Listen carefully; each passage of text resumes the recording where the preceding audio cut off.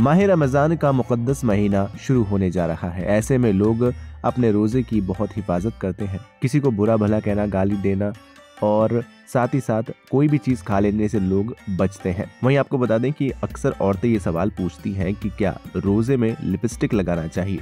क्या लिपस्टिक लगाने से रोजा टूट जाता है? आइए इस वीडियो में जानते हैं। दरअसल रमज़ान को इस्लाम धर्म में सबसे पाक महीना माना जाता है। ये मुस्लिम कैलेंडर का नौवा महीना होता है और इसका काफ़ी खास महत्व भी है। इसे काफ़ी, क्योंकि ऐसा माना जाता है कि कुरान इसी महीने में नाजिल हुआ था। आपको बता दें कि सऊदी अरब में रमज़ान का चाँद दिख गया है और रमज़ान आज यानी 11 मार्च सोमवार से शुरू हो गया है।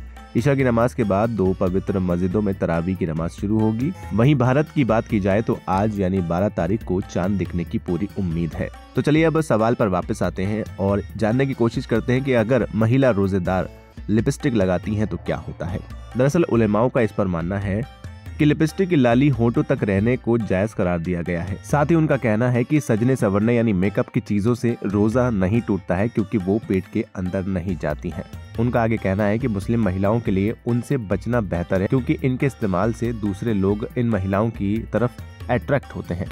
इसलिए इससे जितना हो सके बचा जाए। इसके अलावा मुफ्ती इकराम का ये भी कहना है कि अगर महिला या पुरुष दोनों मेकअप का इस्तेमाल करते हैं तो इसको रात में इस्तेमाल करना बेहतर है, न कि रोज़े की हालत में। यही बात साबुन और क्रीम पर भी लागू होती है, जिनका इस्तेमाल चेहरे को सुंदर बनाने के लिए किया जाता है और स्किन की सतह पर लगाया जाता है, जिसमें मेहंदी मेकअप आदि शामिल है। हालाँकि इसको इस्तेमाल करने से कोई बुराई तो नहीं है, लेकिन जितना रमज़ान में बचा जाए, उतना बेहतर है। लेकिन अगर लिपस्टिक आपके मुँह में चली जाती है तो उसे मकरू माना जाता है। फ़िलहाल इस वीडियो में इतना ही। उम्मीद है आपको ये जानकारी पसंद आई होगी। वीडियो को लाइक करें, शेयर करें और चैनल को सब्सक्राइब करना बिल्कुल न भूलें।